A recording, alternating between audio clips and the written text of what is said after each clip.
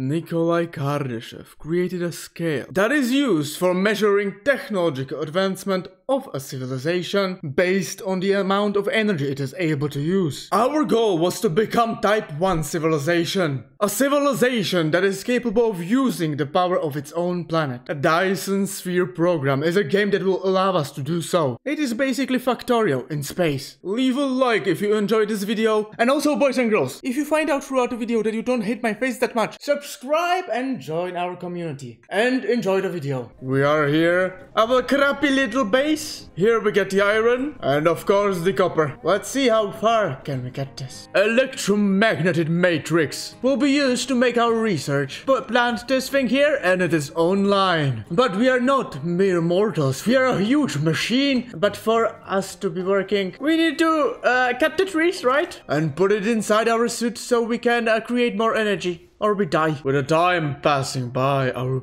base increased in size. We started manufacturing basic materials. And currently in the distance we can see we are producing energy using the wind. And we recharge our boy at the spalls. They're good. Currently we are still doing manual research, but that soon will change. With all these beauties, with each day the automation is increasing. And finally boys and girls, the blue research is automated and it is coming out. As this beautiful blue stuff is making us research new important milestones or making our mech stronger, I just found out about something. You can stack these boys on top of each other and you don't even have to change anything. And so we are hashing away. Now it's time to build something very important. Alright, let's do it like this. This to here, very good last touches. Also increase the iron production because we are running out. And with every possible resource, the market is completed. This is where we will resupply our stuff if we need to. Because we are lazy buggers and who makes their things by hand? One advantage that this game has over Factorio is the verticalness of the stuff. So when you have spaghettios, you can just build under it and it all works very nice. As we research our red energy matrix, we are getting closer to our goal. And now this planet is slowly growing into an industrial powerhouse. And while we did already quite a lot to this planet, an oil extractor will surely help to the ecosystem, we do have a nice bloody view started mining oil and we experimented with the ratios. But we didn't end there. We found a better place where to exploit the nature and extract more oil. And as the sun starts to shine and look at our base, Damn, this looks nice. We are looking at our refinery, boys and girls. All the oil that gets extracted, all of it gets transformed here into more useful stuff. Mainly we turn the oil into hydrogen and refined oil. All this bloody thing gets sorted in this bloody spaghettios and turned into more hydrogen in more efficient way. And as we want to be nice to the mother nature as we can, we also dig up some coal and we smelt it into graphite. And with the hydrogen and graphite, we turn it into our beautiful red science. And we transport it all the way over there. And with all this research, we have new toys. For example, we can fly now. And it is a pretty neat thing. But we want the drive engine to be even better. And when it will get researched, this will help us a lot. The research will allow us to do more than world domination. More than becoming Type 1 civilization, we will go further and become multi-planetary species. The second planet we will be conquering is this ice giant, located pretty far away, but we can make it. We need the titanium, but we won't end at the Type 1 civilization.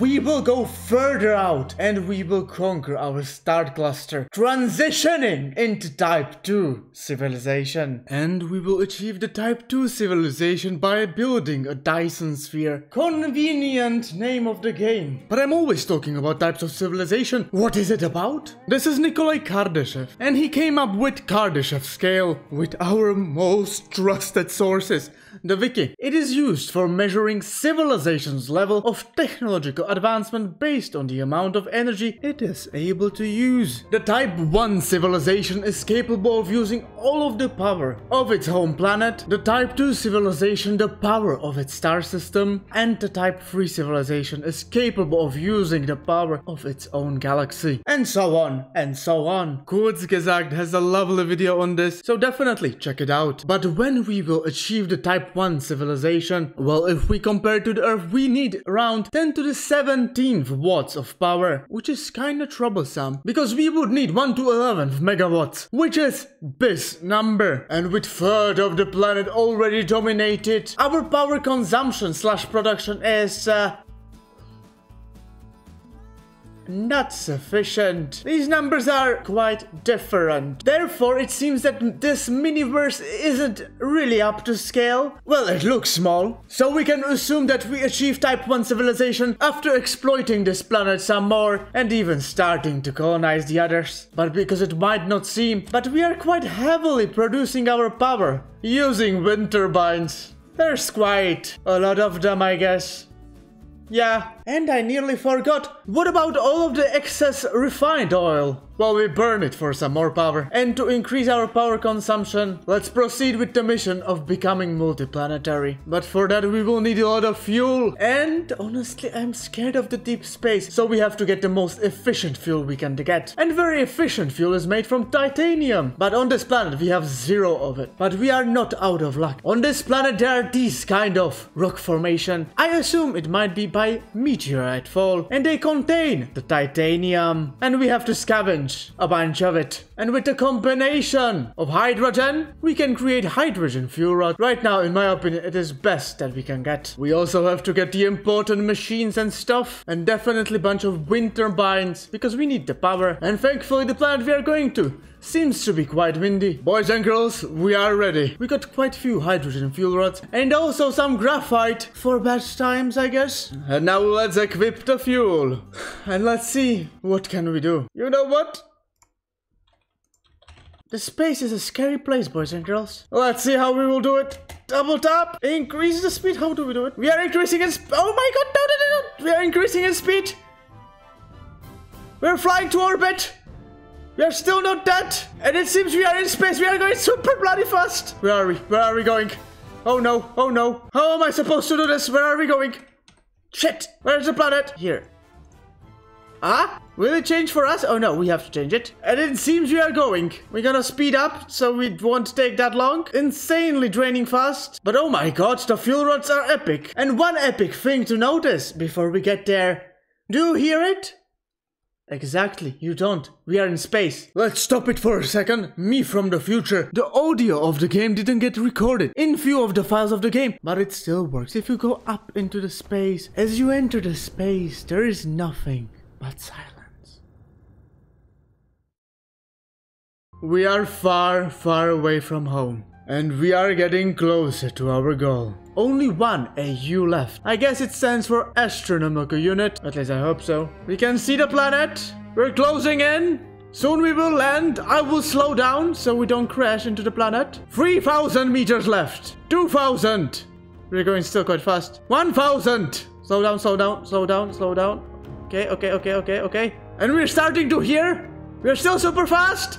We're gonna survive. Oh, hello there, Wasteland! One last quick stop with an interesting fact. I was quite confused about the distance, mainly the meters part. In real life, one astronomical unit is around 150 million kilometers. And in the game, it is only 40 kilometers. So the whole game is scaled down, so it is playable. Makes sense. Damn, I kinda forgot to bring a flag. Damn it! We have iron, and this is what we came for. The titanium. And also, we have silicon ore, so let's find that as well. And here is the silicon vein. Oh yes, oh yes, boys and girls. And our first buildings are being laid down. I think uh, we should start building the turbines. Nice, and the last turbine, hopefully we will have enough energy. Yeah, seems nice. And here we are, boys and girls. We became Multiplanetary. We mine the titanium, we smell it into ingots, and then store it away. Of course, the same goes for silicon, and we will need a lot of it, because you use it for things like solar panels, small chipsets, I guess, and a lot of cool stuff. But how we will get it back home? We research planetary logistic systems, and I have no idea how this will work, and apparently we need both silicon and the titanium, so we're gonna take some with us, set course for our home planet, and lift off. How do you do it? Come on, come on, come on. Ah, we are going out. Oh, we probably should have been smarter about it last time. Right now, the orbits align quite nicely. Meaning, we have quite short way to go. And probably we didn't even need the hydrogen fuel. We are consuming the graphite quite nicely. 5,000, 4,000, 3,000, 2,000. Slow down, slow down, slow down. Yeah, yeah, yeah, yeah. Damn, we never nearly overshot it. Entering the atmosphere. Dive in.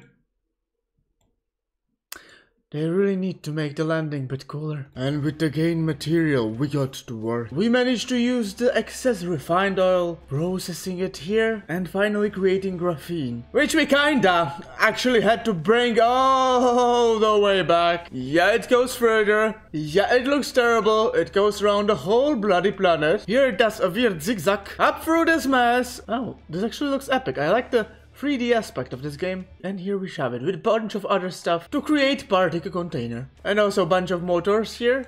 It is complicated. Also, we used up most of our silicon to create these chipsets. And now, wonderful people, we have enough material to create these bad boys. This will be intense. And I have no idea how it will work, but it is huge. Oh, it is huge. First of all, charge the thing. I want this. I want it to demand. And now we have to get to our ice planet. And smooth landing. Lovely. Great. Through the wind fields we go. Okay, now get you and I will plunge you in here. Connect everything up. And everything is getting sucked in. Uh, well, I could have used faster belts, but what does it matter? Five minutes later.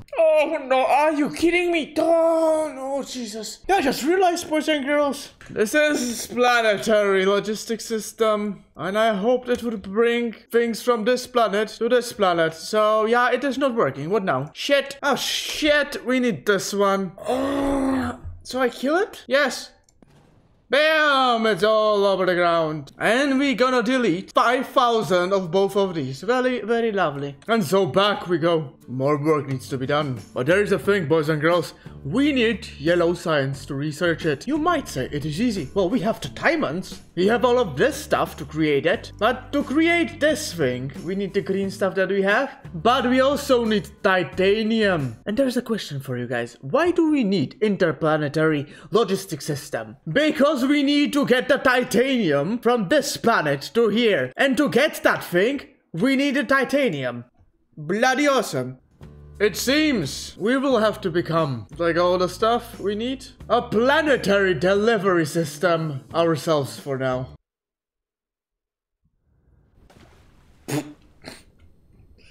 Always gets me. And the first yellow science has been made. And as we are no chumps, we will transport it with our delivery drones. Here they come, they're making a landing. And with the science, they fly off. Nice. We need alloy firstly, and then we're gonna get what we want. And it is coming out very nice. And this looks bloody amazing. For now, I'll do one more delivery service. Oh, well, boys and girls, a lot has changed. Not only things are flying here and there, we are smelting new metals. This is full and operational. And a bunch of stuff happened, actually. Uh, but we reached a point where we actually can create spaceships, boys and girls. I'll see you in a moment. Time has passed, and we are ready. We managed to get even a bigger building. Look at that thing. An interstellar logistic station. Interstellar logistics station. Yeah, And open that's what he said. Now we will drop the other one here. Wonderful. Connect the spaghettis in, and our resources are getting filled into this beautiful thing. And now the grand moment. 20 spaceships.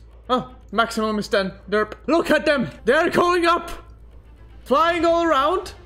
They're reaching the orbit. And the destination is our cold planet. This is an epic moment. Cheers. Yes. Uh, they will soon make their landing. Five minutes later. And they're coming back. We can see them in the distance, they're coming! And they're landing in with all of the material we needed And once they finish loading off, they're going for some more. This is a great success. And as our planet expands and we are supplying it with spaceships, we demand quite a lot of power. So I know just a thing that might fix that. Let's do this. Oh, ah, oh, god damn it. Bloody hell, all around the... Can you please go straight? Dankeschön. And now we went all around the globe. This is all around the equator. And now we're gonna start placing the solar panels. Sadly, there doesn't seem to be any way to make this faster. Extremely annoying shift later. We already look like a type 1 civilization. You know guys what's it about? We have built a solar panel belt all around the bloody planet. Because half of the time one planet has sun on it and the other one is black. So we always have half of the solar panel functioning.